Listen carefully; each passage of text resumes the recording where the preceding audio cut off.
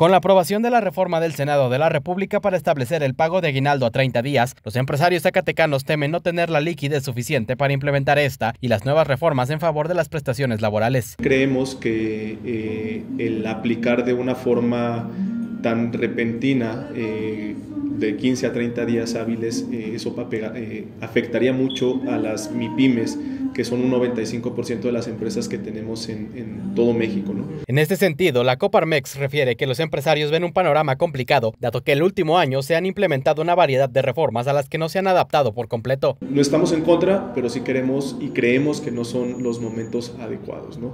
En algún punto ciertas, ciertas reformas nos suenan un tanto electoreras, para decir verdad.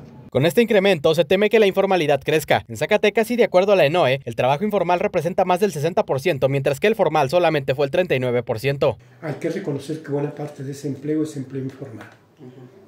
Y en Zacatecas la informalidad es más del 60%. Entonces, ese es un pendiente que se tiene que abordar y que se tiene que enfrentar ya.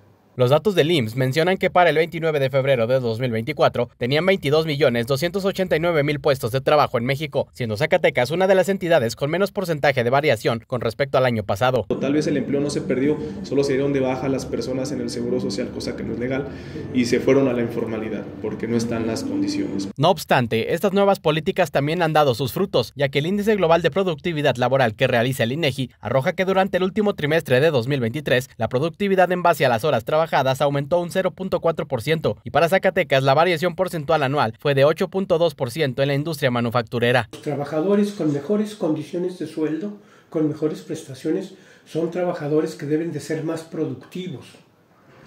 Y esto se ve en los datos estadísticos, ¿verdad? A pesar de esto, las prestaciones y salarios han tenido un rezago de hasta el 80% en percepciones, aunque por otro lado, empresarios han decidido mudarse a otros estados ante un panorama económico que es complicado para Zacatecas. Luis Ángel González, Mega Noticias.